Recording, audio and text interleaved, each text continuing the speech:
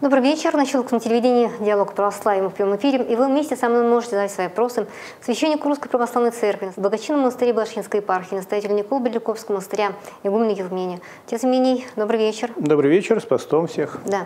Великим постом принято в церквях да, совершать таинство соборования. Еще помазывают маслом также и каждую субботу на всеночном бдении. Чем различаются эти два священнодействия? Ну, вообще в церкви э, принято вот э, во многих случаях помазывать именно маслом. И это идет еще с Ветхого Завета, то есть это такая традиция церковная, еще ветхозаветная традиция. Мы читаем, что там помазывали и пророков, и царей, и священников на служение, э, именно елеем да, помазывали. И, конечно же, э, эта традиция, она, естественно, перешла и в Новозаветную церковь, и у нас вот эти три вида, которые называются полиэлей на вечерней службе, утренняя служба, которые под воскресенье, под праздники, там помазывание освященным елеем происходит. Э, это миропомазание, которое идет во время таинства крещения, это второе таинство, которое совершается во время крещения – ну и таинство соборования. Вот эти три вида основных э, помазаний освященным маслом, они присутствуют в нашей церкви. Конечно же, они отличаются э, ну, многими моментами, и если брать полиэлейные елеопомазания, это берется освященное масло. Это не таинство. Это не таинство, это ну, такая традиция церковная, которая включает в себя праздничное богослужение. И э, на утренней службе перед праздником традиционный такой вот ритуал делается э, священником, когда подходят все стоящие в храме, молящиеся, и он каждого из подходящих поздравляет с праздником, говорит там «Слава тебе, Боже, слава, слава тебе», например, если праздник Господский, если там Пресвятой Богородица праздники, значит, Пресвятая Богородица, спаси нас. Ну, Николай Водник, там, святитель отче Николай, моли Бога о нас и, и так далее. Да? По каждому из э, случаев, почему, служится праздничное богослужение, священник проговаривает и говорит с праздником. И в этот момент он на, на лбу, на челе каждого подходящего делает крест э, кисточкой, обмакнувшись в масле освященном.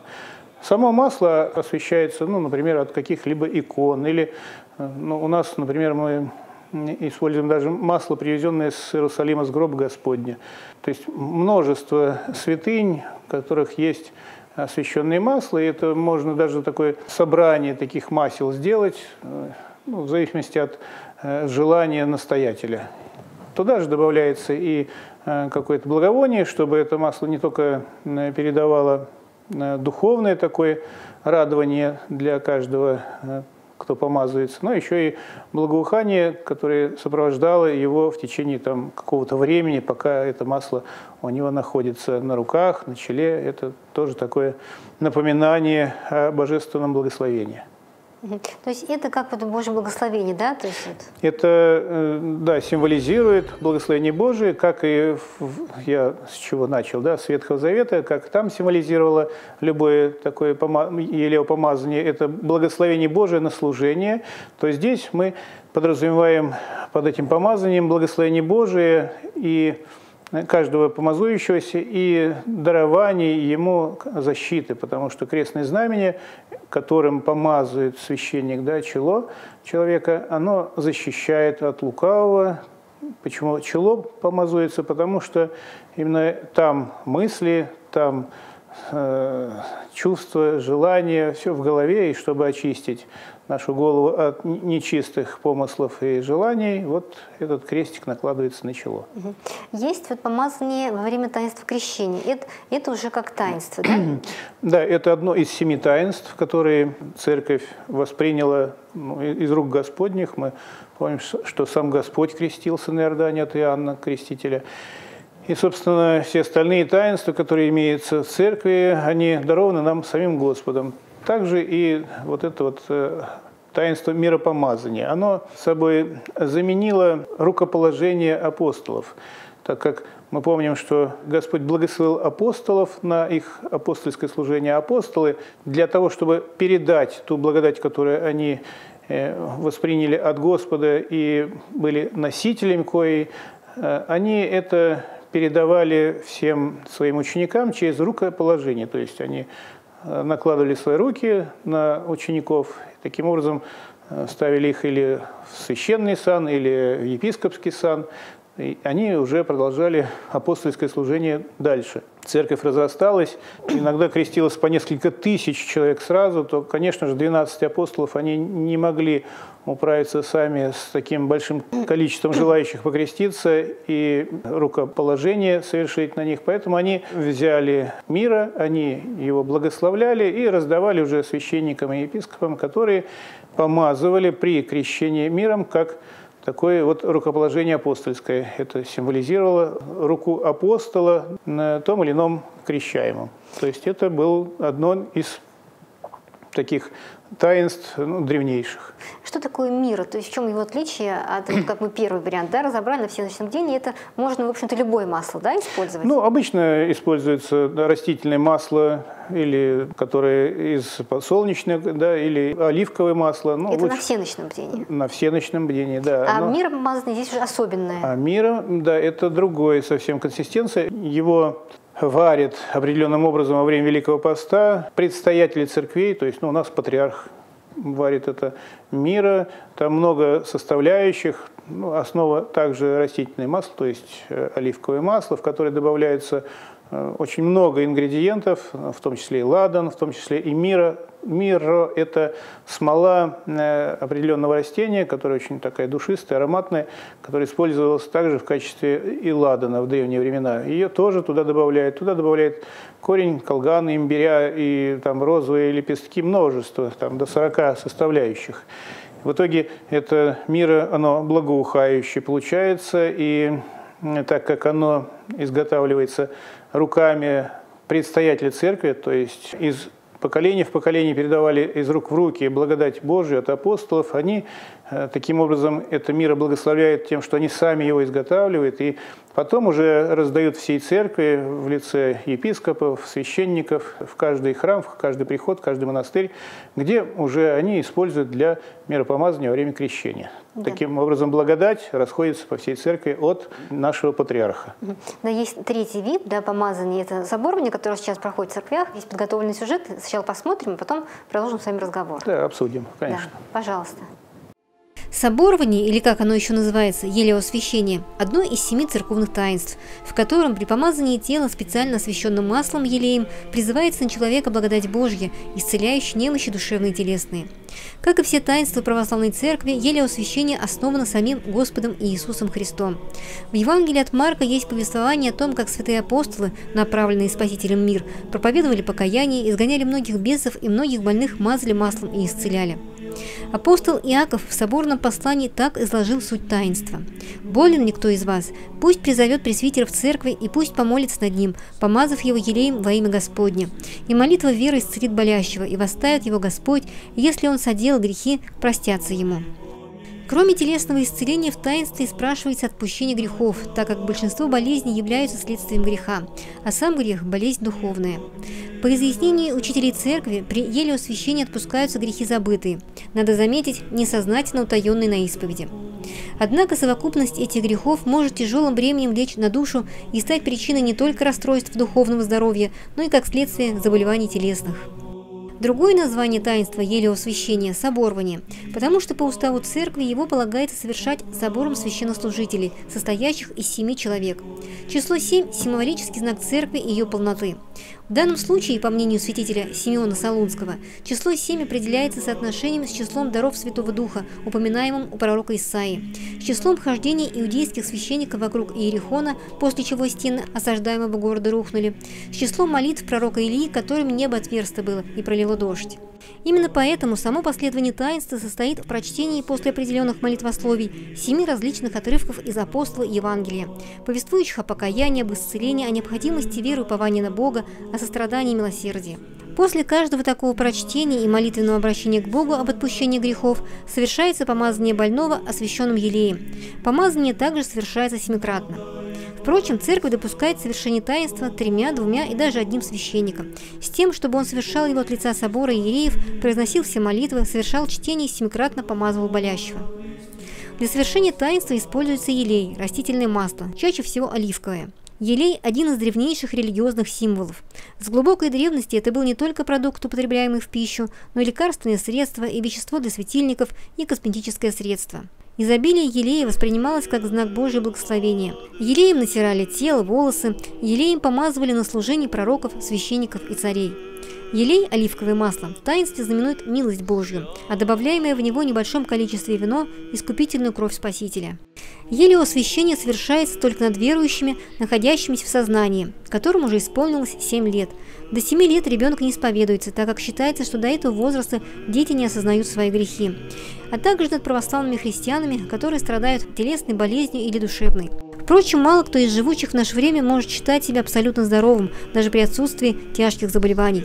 В практике Русской Православной Церкви соборование совершается над всеми желающими во время Великого и Рождественских постов. Таинство может совершаться как в храме, так и вне его, например, в лечебных учреждениях или дома. Во время таинства священник помазывает лоб, ноздри, щеки, рот, верхнюю часть груди, кисти рук с внутренней и с внешней стороны, таким образом освещая ум, чувства, сердце, дела и поступки человека. Специального приготовления к таинству елеосвящения не требуется, но полезно и разумно будет соединять его с исповедью и принятием святых христовых тайн, потому что по вере церкви в соборовании также подается прощение забытых нами грехов. естественный человек, который поисповедовался, искренне очистил свою душу покаянием, тот с большей для себя пользой и пособоруется. Почему многие люди боятся соборования? Ну, действительно, у некоторых прям вот э, такой испуг в глазах, когда предлагаешь им, но вы не хотели пособороваться, ну, больному человеку, прям вот испуг в глазах, говорит, ну, что я прям вот, я же не умирающий. Я да? не собираюсь умирать, да. Да, да. На что я постоянно отвечаю, знаете, я ну, минимум 2-3 раза в год соборуюсь, ну, вместе с вот, собором проводим, мы потом друг друга, также священники в алтаре соборуем. И это очень благодатно и очень э, радостно, на душе покойно становится, тело укрепляется, дух укрепляется, то есть от этого не умирает, наоборот, укрепляется и тело, и душа.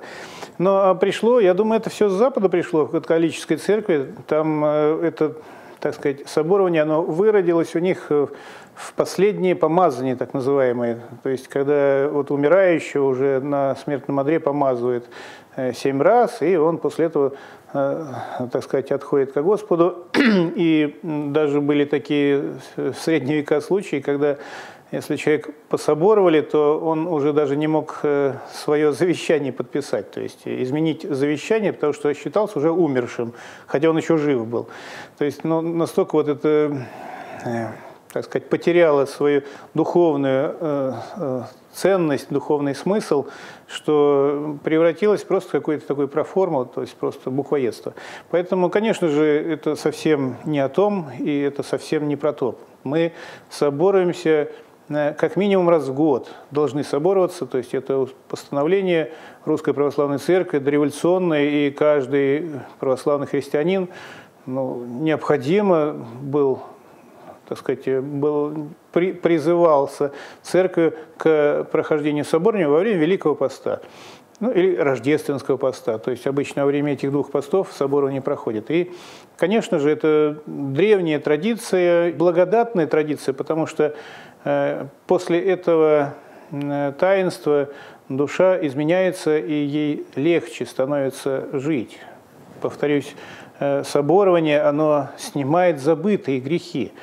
Э, то есть те, которые человек уже никогда не исповедует, то, что он их забыл. И то, что он помнит, он ну, исповедует. Ну, ну, малозначимый, наверное, да? Что-то событие какое-то произошло ну, и все. По разным причинам. То есть мы собором ну, после инсульта, например, человек, который жив, но он, там, он уже не помнит половину своей жизни. Да? Но как ему э, снять грехи с души?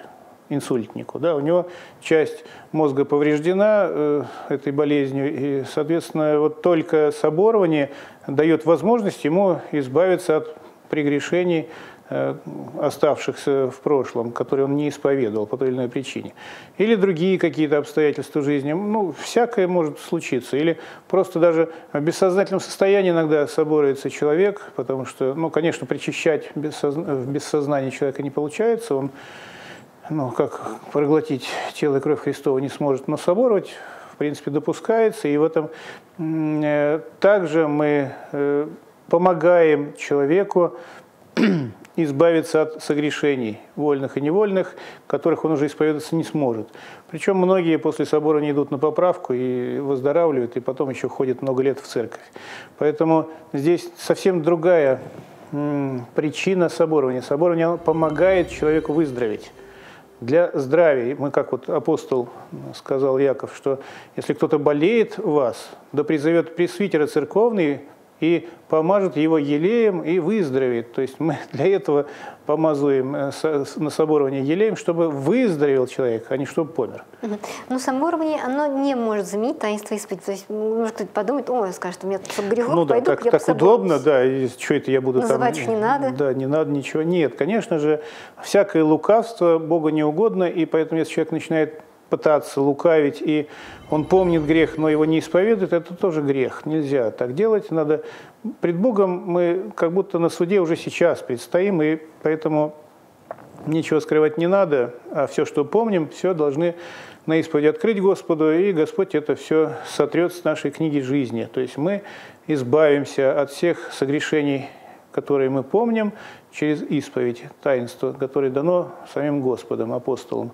И лишь то, что мы не вспомним искренно, как бы мы не хотели, вот это стирается уже соборованием. А как связаны грехи и болезни? Ведь мы сколько знаем случаев, когда Евангелие когда Господь, да, прежде чем исцелить человека, отпускал грехи. И потом говорил, иди больше не греши, иначе с тобой будет еще хуже. Да, да не станет тебе, да, э, не придет тебе более худшее. Но действительно мы понимаем, что взаимосвязь между душой и телом она ну, прямая. Да. Мы даже в медицине есть такие понятия, как э, вот, э, неврозы, там, психозы и прочее. И, конечно же, прежде чем э, взять что-то из лекарств и начать лечить тело, надо задуматься, а почему заболела та или иная часть тела. Ну, например, если там человек страдает чревоугодием, то, конечно же, у него начнут болеть органы э, ЖКТ. Если человек там гневливый там, или гордый, у него начинает болеть голова. То есть, вот это все взаимосвязано. Если человек блудит, то у него на этой почве возникают различные заболевания. И это все взаимосвязано.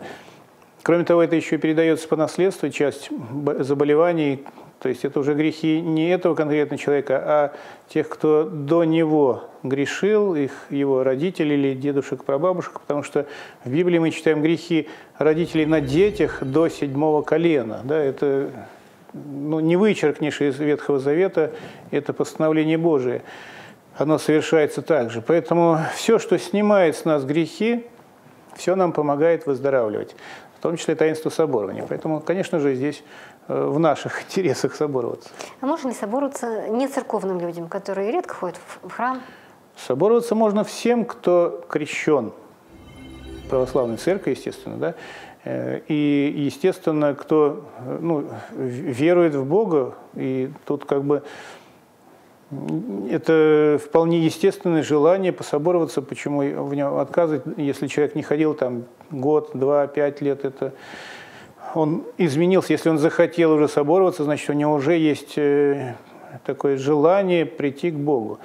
Кроме того, мы знаем, вот опять же повторюсь, что в больницах лежат люди, которые ну, всю жизнь не ходили в церковь, но вот э, уже на таком болезненном одре в больнице они э, желают прийти к Богу и зовут священников, чтобы их пособоровали, исповедовали, причастили. То есть тоже вполне естественное желание. Сказали, что один раз в год, ну так вот, да? Минимум. Ми, ми, а сколько, как часто вообще можно? Ну, хоть в каждый пост. У нас вот четыре поста в году, вот э, такая периодичность достаточно. Они распределены по всему году, и поэтому хоть каждый пост можно собороваться. Тут уже То есть надо по желанию. узнавать в храме, да, где там Да, да, ну, в некоторых храмах там вообще в течение года там каждый месяц соборование проходит специально, ну, при больницах там где-то или еще в каких-то таких вот специализированных заведениях, где храм есть, э, то там священник соборует всех желающих. А вот мы видели на видео, да, для чего держат зажженную свечу и в какой момент вообще вот ее зажигают, с самого начала? А свеча – это ну, источник света, да, то есть она зажигается для того, чтобы освещать пространство ну, рядом со свечой. А мы знаем, что есть вот такой возглас во время литургии прежде священных даров, где священник зажигает свечу, поворачивается к прихожанам, говорит, свет Христов просвещает всех. То есть тот свет, который Христос принес сюда, то есть евангельская проповедь, э, э, весть о Царстве Небесном, что оно приблизилось и в него можно войти, это тот свет, который просвещает всякого идущего к Богу. И свеча она символизирует этот свет Христов. Зажигается семь раз в течение соборования в момент, когда читается Евангелие. То есть мы э, это напрямую связываем зажжение свечи с чтением Евангелия, потому что именно из Евангелия мы черпаем тот свет Христов, который Господь принес в этот мир. У нас есть звонок, послушаем. Послушаем. Пожалуйста, говорите, мы слушаем. Добрый день. Добрый вечер. У меня вот такой вопрос. Я знаю, что в храме не надо делать замечания, но очень часто отвлекает внимание люди, разговаривающие, и дети, которые остаются без родителей и гуляют по храму. Как себя вести в этих случаях? Подскажите, пожалуйста. Да, спасибо за вопрос. Действительно, это такая очень актуальная тема, потому что и мне, как священнику, также мешают разговорами в храме, то есть молитва, такое э, старание священника и прихожан, э, пришедших в храм помолиться и отдать это время беседе с Богом, э, соответственно, не рассеиваться в молитве, а наоборот, максимально сконцентрироваться на смысле молитвы, на смысле происходящего того или иного богослужения. И тут вот так сказать, разговоры какой-то, суете, рядом стоящие люди, но не заткнешь же уши, да, действительно. Поэтому можно с любовью, без укора, без раздражения, тем более, попросить, вы знаете, вот, ну, очень мешает ваша беседа, можно вас попросить вот, отойти в притвор храма да, или на улицу и обсудить что-то, вот, ну, внезапно там что-то нужно, наверное, что-то сказать. А про детей также они тоже очень сильно отвлекают от молитвы, поэтому это задача родителей детей как-то вот приструнить, чтобы они тоже стояли, молились и не мешали беготней, криками. Я сюда отнесу еще одно, так сказать, отвлечение – это телефоны. Э, какая-то такая благодатная атмосфера, какие-то таинства э, причастий там, или евхаристический канон идет, самая такая вот строгая часть литургии. И тут вот э, какая-то мирская мелодия в виде звонка телефонного разносится по всему храму, а акустика в храмах хорошая.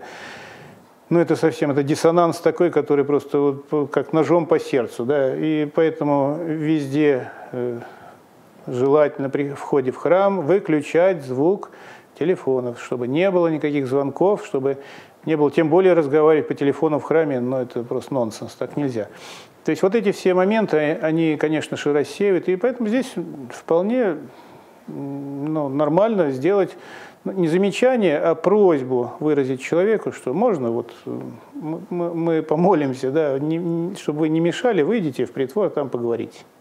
Да, самое главное, чтобы с любовью нам это сделать. Вот это я сразу говорил, что с любовью, со смирением, не без укора, без раздражения. Да. Что делать вот вообще вот со священным маслом, да, оно остается, люди вот берут с собой, да, что с ним дома делать? После соборования действительно специально люди берут масло, приносят свои э, пузыречки, набирают маслица, потому что священник заранее освещает больше, чем нужно для соборования, прям бутылочку освещает масло и потом раздает это всем желающим чтобы они им пользовались в домашних условиях. Но для чего его можно использовать? Для того, чтобы дома помазывать что-то больное, ну, допустим, там плечо болит, там, не знаю, или ухо стреляет, или еще что-то. Прям раз пальчиком помазали. Это даст облегчение и выздоровление принесет. Э, дальше. Это масло также можно добавлять э, в пищу, потому что оно растительное, оно, в нем никакой химии, ничего там нету. Оно просто вот, масло Э, оливковое или там подсолнечное масло, то есть оно совершенно свободно может употребляться в пищу, ничего там плохого нет, поэтому по капельке добавлять в какие-то свои, так сказать, продукты, приготовленные для употребления в пищу, тоже это освещение пищи, это, опять же, это масло будет воздействовать еще изнутри. Ну, мало ли, у кого-то желудок больной там или еще что-то. Также это на пользу пойдет э, всякому употребляющему масло. Вот э, самые простые применения. Есть еще звонок, послушаем. Да, послушаем. Пожалуйста, говорите, послушаем. Отец Евгений, Галина, мир вам. Добрый вечер. Скажите, пожалуйста, у меня после перенесенного коронавируса обострилась рассеянность. Отвлекаешься дома при чтении домашних молитв. Также трудно удержать внимание на церковной службе от начала до конца. Что-нибудь можете мне посоветовать? Спасибо. Да, спасибо за звонок. Ну, действительно, мы пережили эти вот э, такие непростые времена коронавируса, в которые многие даже и умерли от этой тяжелой болезни. Ну и тем не менее, вот мы продолжаем жить, может, какие-то последствия у каждого, ну и в том числе и я болел этой болезнью, да и все. Я думаю, не осталось никого, кто бы ей не переболел. И у каждого по-своему она отразилась. Э, если что-то с вот, э, внутренней концентрацией внимания произошло у вас, то я думаю, все-таки надо постараться потренировать ее. То есть она как мышцы, да, как если человек э, не тренирует мышцы, то они атрофируются, они перестают быть такими э, функционально э, правильно, так сказать, натренированными. А рассеянность – это внутреннее расслабление внимательного созерцания самого себя и того, что происходит внутри. То есть постарайтесь все-таки себя потренировать, то есть собираться с, с, сознательно внутри себя, так сказать, в кучку собираться и волю к этому прикладывать.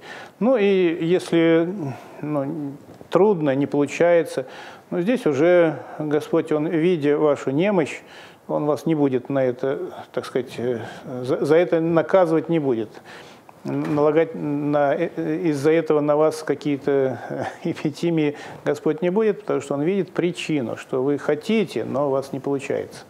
Поэтому здесь э, по возможности все-таки старайтесь себя взять в руки и натренировать, опять внимание это, вернуть себе, и просить у Бога помощи, конечно. Господь ведь все может дать, тем более, что сейчас мы говорим о соборовании и о исцелении любых э, болезней и последствий тех или иных заболеваний.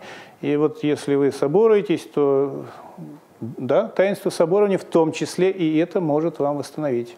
То есть эту рассеянность убрать. Знаем, что семь евангельских отрывков читается, да? Как они выбираются, эти отрывки? Так как соборование направлено на исцеление души и тела человеческого, то и эти отрывки все связаны так или иначе с исцелением э, людей, с призванием э, помощи Божией в тех или иных обстоятельствах. И, конечно же, они э, вот направлены именно вот на это. Э, то есть мы из этих евангельских моментов приобретаем опыт э, такой внутренней духовной э, жизни, э, связанные с исцелением человеческим. То есть то, ради чего, собственно, мы на соборе и пришли. Ну, давайте прям, прям по пунктам да, разберем. То есть первое – это вот о милосердном самарянине. Притча, которую Господь рассказал в ответ на вопрос, заданный ему, что такое милосердие, кто есть мой ближний, да, он рассказал, что был человек, которого разбойники ограбили, избили, он лежал при дороге, часть Э, там священники, левиты прошли мимо него, а самарянин э, остановился, ему помог и, кстати, возлиял на его раны масло и вино. То есть он таким образом, здесь прям явное указание на таинство соборования, потому что мы во время соборования используем масло и вливаем туда когор как символ крови Христовой, а масло как символ благодати Божией. Поэтому здесь тоже мы в этой притче это все видим. И дальше самарянин э, посадил его на своего осла, привез в гостиницу, оплатил проживание и сказал гостинику, что когда я буду возвращаться, я еще заплачу, если что-то там больше израсходуешь на его лечение. То есть мы здесь видим яркий такой вот прям э, намек на соборование масла и вино здесь используется.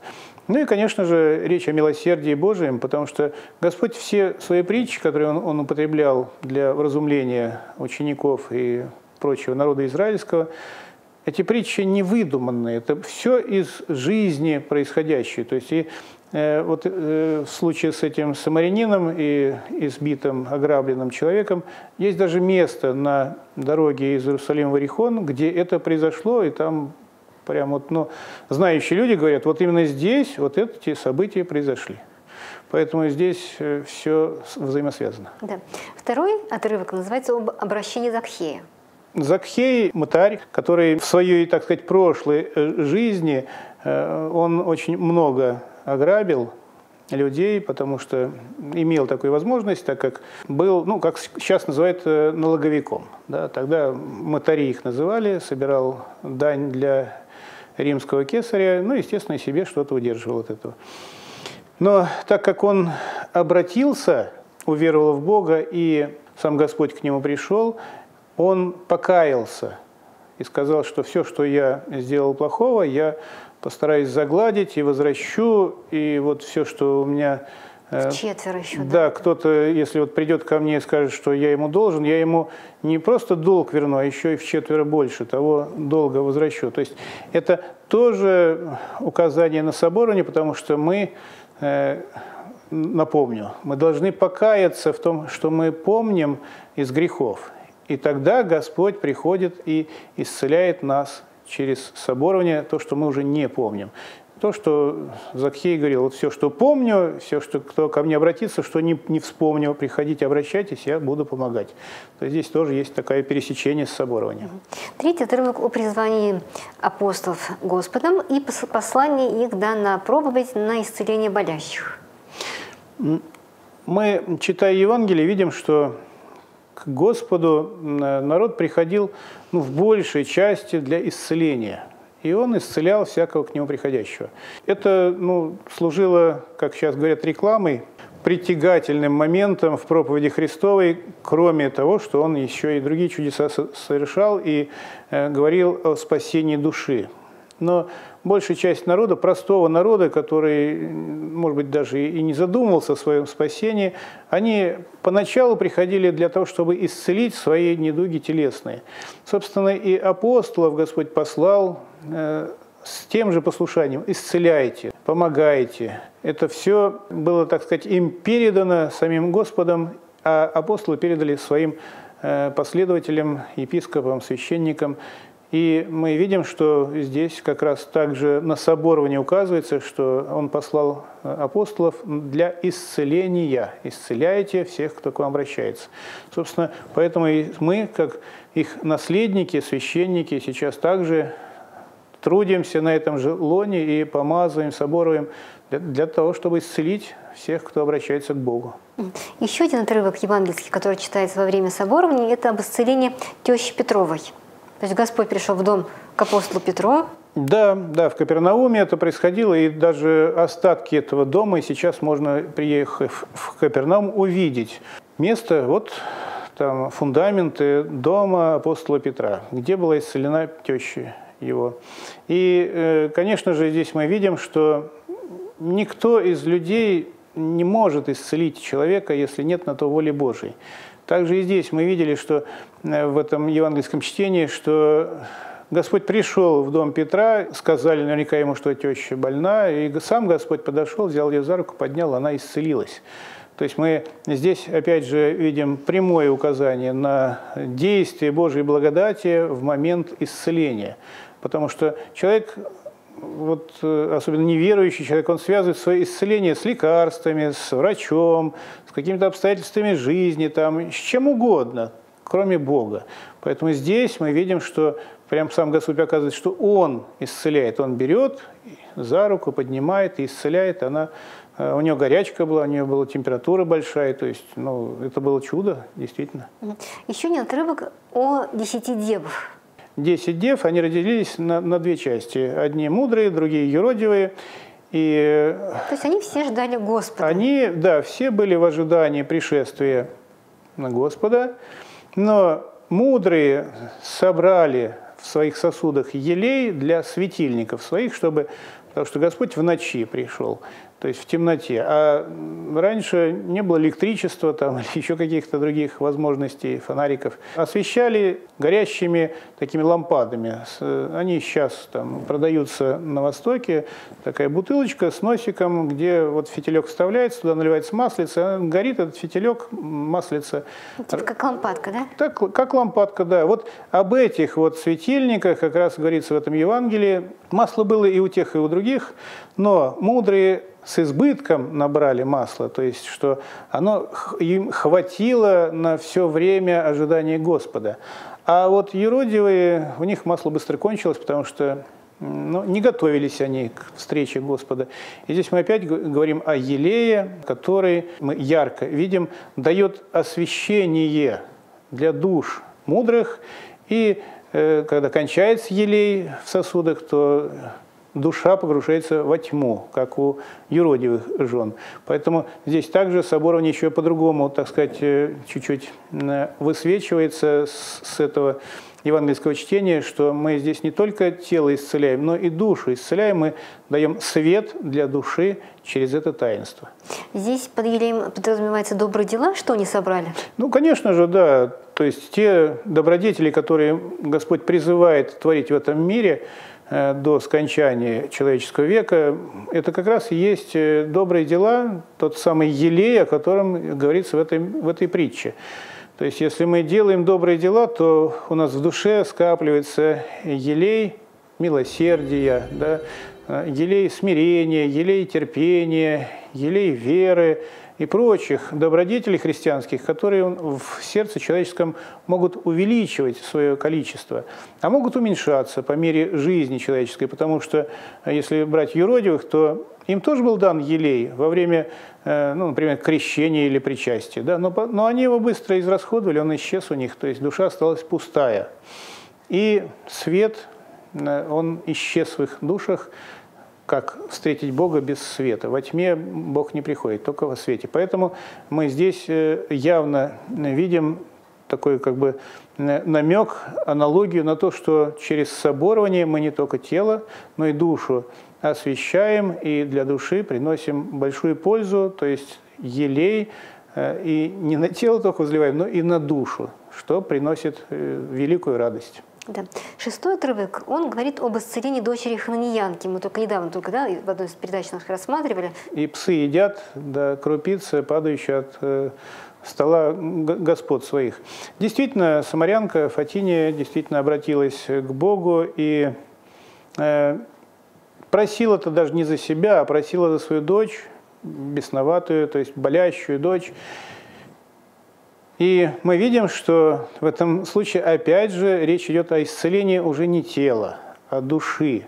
И это опять же, так как это во время таинства соборования читается Евангелие, то это значит прямое указание на то, что соборование исцеляет не только тело, но и душу, и даже бесноватым помогает соборование, ну, как в случае вот с э, самарянкой, с хананьянкой, дочь которой была бесноватой. Мы видим даже, она не являлась от рода израильского, то есть она была иноплеменницей.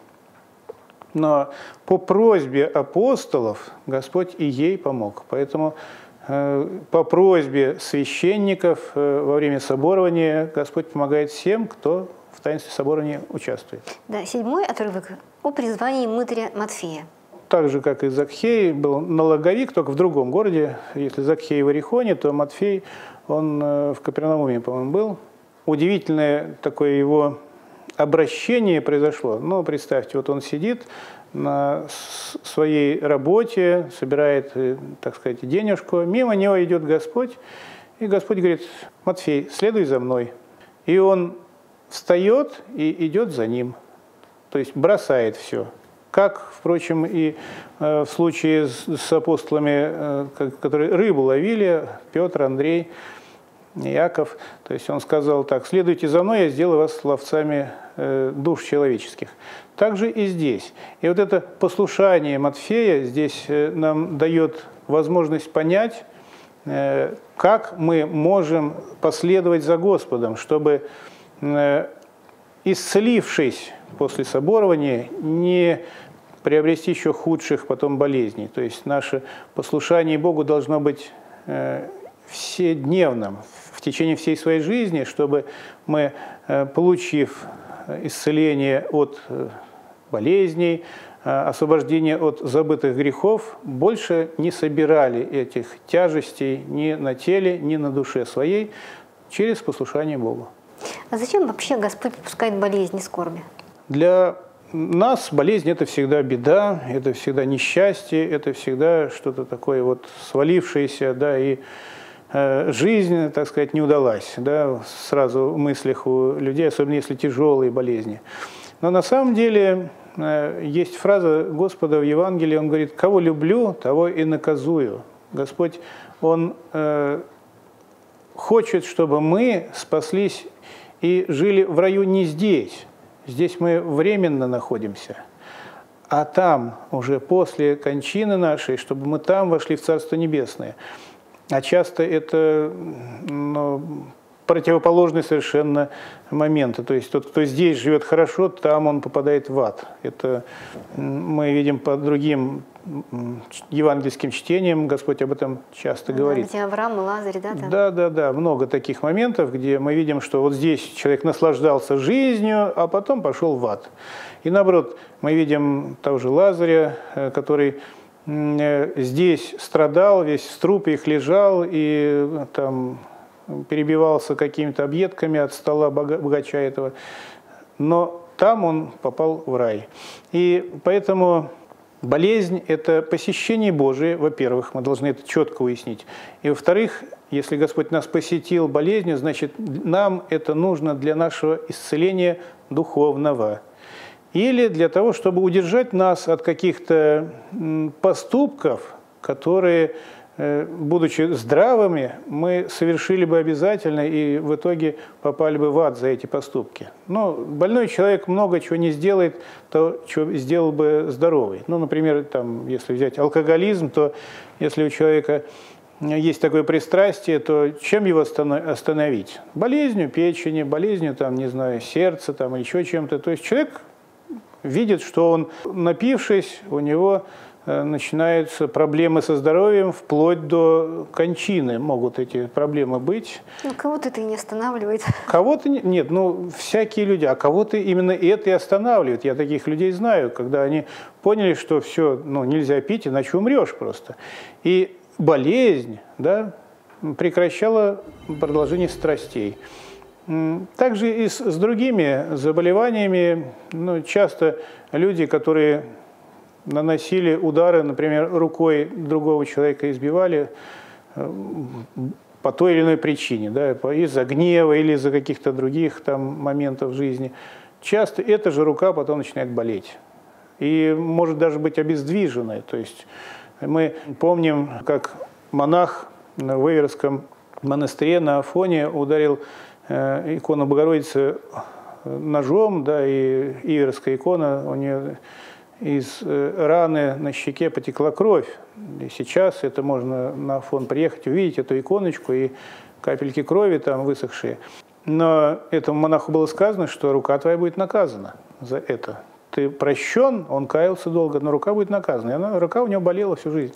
То есть мы видим, что каждый раз, когда мы что-то делаем, э, мы неправильное против заповедей Божьих, мы таким образом э, себе же набираем потом болячек. То есть для нас такой вот звоночек каждый, да, задумается, у кого что болит, да, о чем это говорит? Да, То да, есть да. о каком грехе надо задуматься, чем же мы грешим? Святые отцы так и часто говорили, что каким органом телесным ты э, согрешаешь, тот орган и будет у тебя болеть. У нас осталось не очень много минут, пять минут. Поговорим о воскресных ближайших событиях. Да? Тут сразу несколько событий. У нас Благовещение да, и крестовоздвижение. Все, так сказать, совпадает. Да, вот о, благове... о Благовещении. В этом воскресном да, дне э, предстоящем. Конечно же, Благовещение – величайший праздник, когда Матерь Божия в трехлетнем возрасте была приведена своими родителями в храм Соломона – Э, в центре Иерусалима находившаяся, и передана в руки своего дяди, мужа тети Елизаветы, да, и Захария ее ввел, трехлетнюю девочку, даже не в храм, а в алтарь, в святая святых, где она жила до своего совершеннолетия, где к ней являлись ангелы, где она в молитвенном предстоянии пред Богом служила Господу до совершеннолетия, и уже таким образом была подготовлена и защищена Господом от всякого нечистого образа, действия, слова и прочих нападок бесовских и человеческих, которые могли бы с ней произойти в жизни, да, в мирской жизни. То есть фактически мы видим здесь ее монашеское жительство в храме и служение Богу, монашеское служение в храме. И когда она вышла из храма, и стала жить с Иосифом Обручником уже в Назарете, тогда ей явился архангел Гавриил и сказал, что от тебя родится Господь Иисус Христос, Спаситель мира, и ее воспитание от родителей, от э, дяди, от того, что она в храме приобрела, э, ее, э, так сказать, сподвигло на правильное восприятие этого благовестия. Она сказала, я раба Господня, да будет мне по воле Его. Удивительным образом через это э, совершилось э, вочеловечение Бога, и этого момента Господь, э, так сказать, ожидал и выстраивал все события жизни рода человеческого более пяти тысяч лет – только в этот момент он смог прийти э, в земной мир, через Пресвятую Богородицу родиться и спасти род человеческий. Да, и одна минуточка о крестопоклонной. Крестопоклонная неделя, она является такой средней частью поста великого, и для того, чтобы нас укрепить, потому что уже силы, может быть, там не, не такие не такие мы бодрые да, во время поста, и физические, и духовные силы.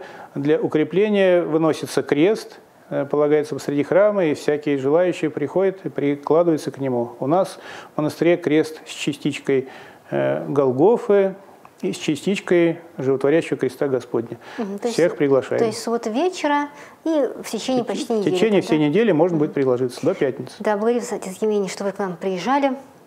Вот на сегодня это все. До свидания. До свидания.